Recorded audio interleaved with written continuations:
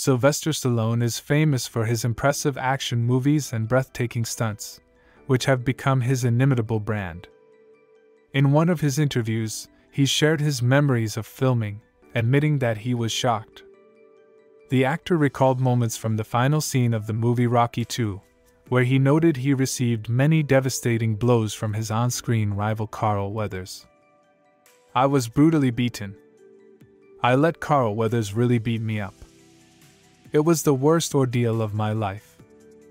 Broken bones are a work in progress. He continued the fight was four times longer and eight times more intense than the first part. Many of the punches were real. Learning how to take them was just as hard as hitting them. This isn't the first time Sylvester has been injured on set.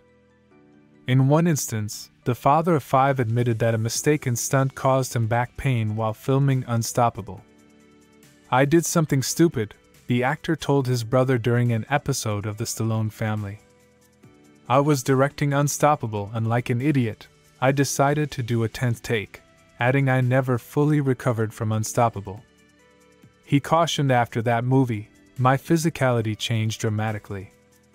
So I advise everyone not to try to do your own stunts.